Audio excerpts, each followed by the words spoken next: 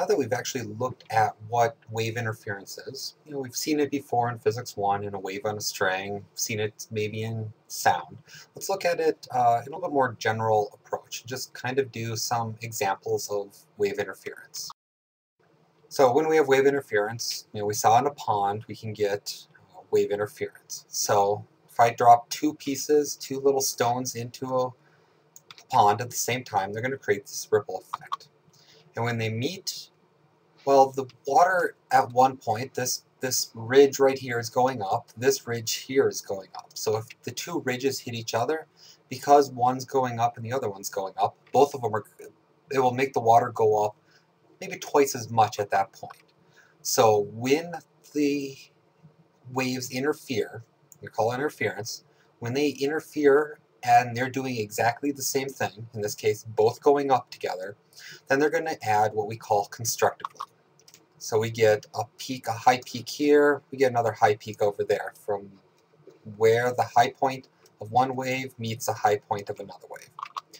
Well, there's also the point where we can get a high point of one from here with the low point of another, and we'll get what's called destructive destructive interference. So if this is at the same level, this is at our zero level, this point right here, because one wave is going up and one wave is going down, all the up will cancel with all the down. We call that destructively interfering.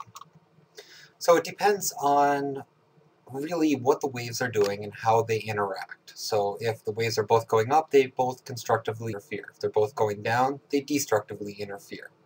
If they both are going down, actually they don't destructively interfere, they constructively interfere. But if one is up, one is down, then they destructively interfere. And there's all different ranges along it. So let's look at a quick little question on this. Um, so if we were to look at these two waves, I get this slow varying low amplitude wave and a large amplitude fast varying wave. And I ask, at point G, what happens? Well, if we see at G, along this line right here, the low wave right here has a positive value. The fast varying wave has a positive value, so they're going to add together. Both of them are not, one of them's at its peak, the other one's not. But they both are going up, so they would both constructively add. Now if we go wait a little bit longer and look at h, we'll see that at h, our fast varying wave is negative, but our slow varying wave is still positive. So when they add together, we get positive from this one, negative from this one, so they're going to uh, subtract from each other. They're going to try to counter what each one's doing, which is what destructive interference is, or they destructively add. Same thing with I. I, the slow varying wave, is negative. The fast varying wave is positive. So again, they're going to add together. They're always going to add together, but this time when they add, the positive from this one will cancel some of the negative from this, so they're going to destructively add. Again, we can look at J. J is a negative value here and a negative value there, so when we add them together, there's two negatives adding together, so the total wave that's created from this uh, the interference between the two is going to be constructive interference. And they're going to add together. Both negatives will make it an even bigger negative value. So look at K, L, M, and O and see if you can figure out what's going to be happening, say at K.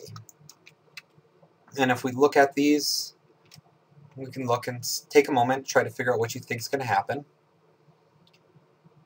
Well, at K, K is a negative for one, a positive for the other, so it destructively adds.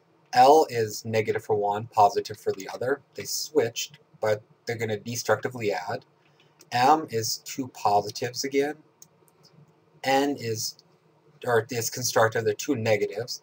N is two positives, so they're going to constructively add. And O is a positive and a negative, so they destructively add.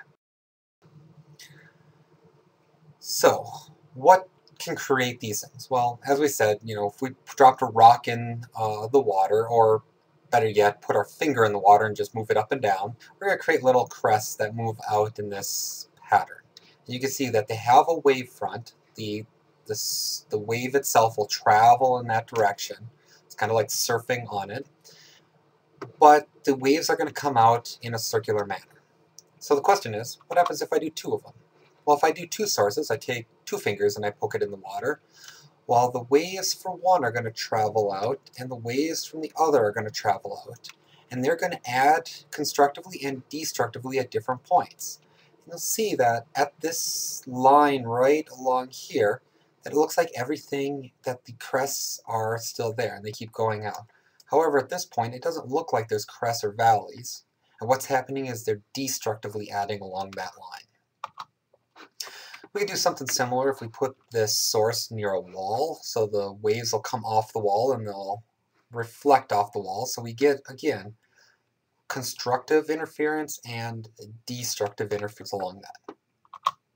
And we can see that we change the pattern. So if the pattern up here looks like this, and we get this little bit of shadow here, we get these spacings, we can get a different pattern if we move the source uh, at a little bit different way from the back wall. So these are all different types of examples of waves interfering. And we're going to really focus on, in the rest of this learning module, uh, the interference of light and what happens when light interferes.